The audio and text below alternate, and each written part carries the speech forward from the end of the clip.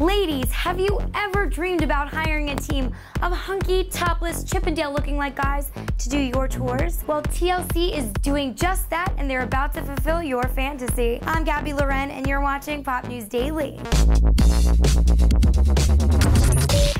New show coming to TLC, and it features a dream team of handymen. We've got Jonathan the foreman, Kevin the construction guy, Ben the painter, and Dan the handyman. All these hunky guys will bring their tools and topless bods to fix what husbands haven't. The show's whole premise is building a team of guys who are introduced to a wife because her hubby has ignored their home improvement needs. And if the hubby gets jealous, decides to step up to the plate and do the job, the foursome won't have to come back and do the work for their wives. Talk about a win-win situation. TLC is currently road testing the show on Monday nights at 8 p.m. If the 30-minute episodes do well, the network will consider picking it up as a regular series. Do you think Honey Do will do well? Make it pop or make it stop?